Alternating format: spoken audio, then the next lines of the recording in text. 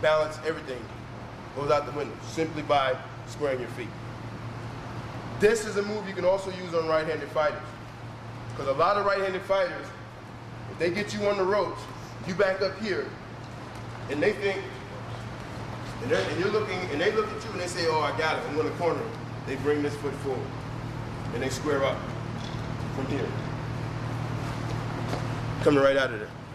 And you're gonna catch your balance here. I'm coming out and I'm firing. Okay?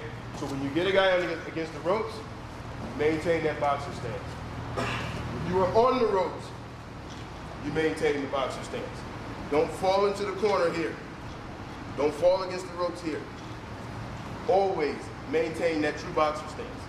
This gives you an, this gives you an advantage. Because when this guy's standing in front of you, he's been taught to cut that corner off. Okay? So what I'm gonna do is if he's throwing punches, I'm here, I'm gonna come here.